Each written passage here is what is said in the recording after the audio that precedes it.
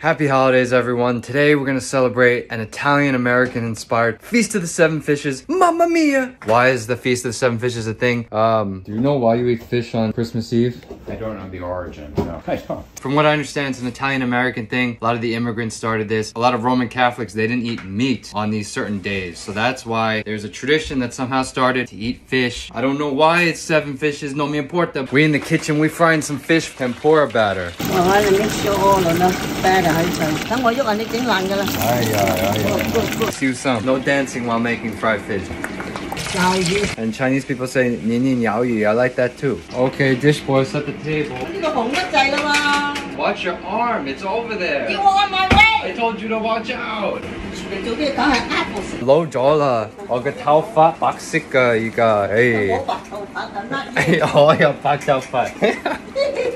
OK，我交先。你好啊， What? 两只手啊，一只手唔得，放个 camera 喺度先啊，一阵倒泻喺地下啦，你会执啦。 Okay. 烧烧烧，呢个呢个呢个呢个。 My mom's gonna make a little clam sauce pasta. You know it's gonna taste good when we're wearing red. Throw the onion in, some anchovies and uh, butterfly and some shrimp. What's your favorite part about Christmas Eve?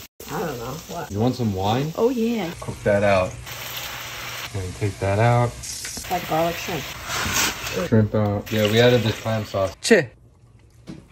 Mamma mia. Let's try the pasta. Okay, Doc, put this back in, right? Is the pasta done yet? Yeah. You sure? Mm. Spilling everywhere. One lemon zest, parsley. This looks like Mamma Mia! Fried fish, fried shrimp, fried scallop, not healthy, Our seafood pasta, spinach. Papa Tola. They all say it. All you British people eat fish and chips. You better watch out. Papa's coming for you. Literally. Yeah, you used to have like 20 courses for Christmas Eve, right? After we eat, we'd eat again. Buonasera. These are called cuccidati. They're kind of like a fig Newton. They have ground figs, coffee, usually a type of alcohol, chocolate, nuts, and dried fruit, and some honey. So these are all like Mediterranean, Middle Eastern, African flavors. And these cookies actually date back to the Arab occupation of Sicily. My Nona, who's this year 99 years old, she wrote down the recipe on a card in script, and we can't find the card. But now my Chinese American mom and I try to make these every year. And I don't even like these, but I like the tradition. Mm.